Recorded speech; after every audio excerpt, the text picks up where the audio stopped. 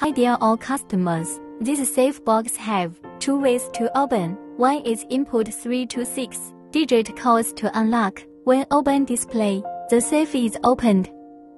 The second way is use the emergency key to open.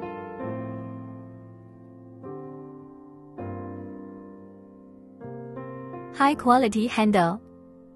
Smooth the bolt. Large hidden drawer. Detachable laminate. Simple install.